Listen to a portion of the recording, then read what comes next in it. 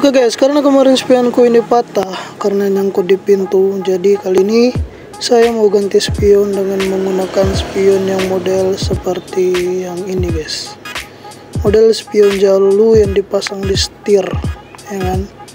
Kita akan ganti dan langsung saja kita rakit-rakit spionnya guys. Oke, jadi karena ini baru pertama kalinya beta pakai spion yang model kayak begini, jadi masih rasa bingung ya guys ya gimana cara pasangnya ini jadi masih cari-cari masih raba-raba modelnya seperti apa bentuknya nanti bagaimana.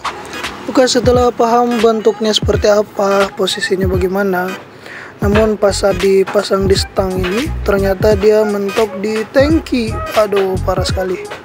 Tapi bukan masalah bukan api namanya kalau hal seperti ini tidak bisa dipecahkan ya guys ya. Setelah beradu otak cukup lama dengan kaca spion ini akhirnya dia takluk di tangan saya dan terpasang di stang guys dan kira-kira seperti apa hasilnya? Inilah hasilnya.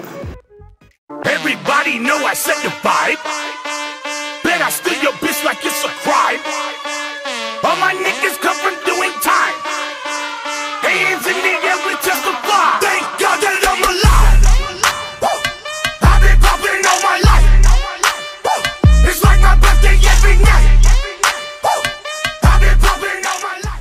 Nah, gimana nih guys? Apa pendapat kalian tentang kaca spion jalu yang terpasang di motor Fiction Old ini? Kira-kira cocok gak? Berikan pendapat kalian bagaimana nih modelnya, bentuknya kaca spion ini. Kira-kira cocok gak di motor Fiction? Dan coba komen juga kira-kira apa lagi nih yang harus saya ganti biar motor ini jadi makin keren.